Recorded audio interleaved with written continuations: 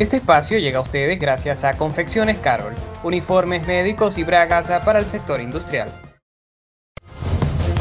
Conectados con el enlace radial informativo de Venezuela.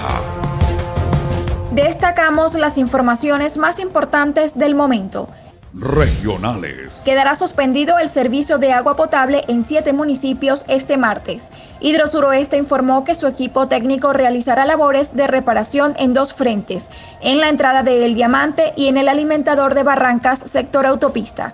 Por tal motivo, suspenderán el servicio en los municipios Guásimos, Capacho Nuevo, Capacho Viejo, Lobatera, Michelena, San Antonio y Pedro María Ureña. Comercios del centro de San Cristóbal permanecieron cerrados este lunes ante las medidas emitidas por el gobierno nacional. Nacionales. Inicia inmunización de los maestros contra la COVID-19. El gobierno tiene previsto que unos 100.000 educadores sean inmunizados con la vacuna del laboratorio chino Sinopharm. Internacionales. Estados Unidos concede estatus de protección temporal a venezolanos en su territorio.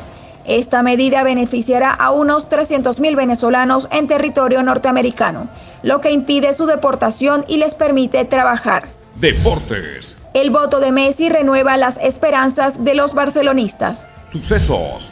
Apresada en Barrio Obrero una ama de casa por estafa con venta de motos inexistentes. Para más detalles ingrese a www.lanacionweb.com.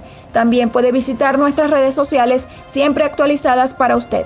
Desde el Centro Nacional de Noticias de Diario La Nación, reportó para el enlace radial informativo de Venezuela Rosegni Zambrano. Feliz martes. Diario La Nación, siempre, siempre en el corazón del Tachirense.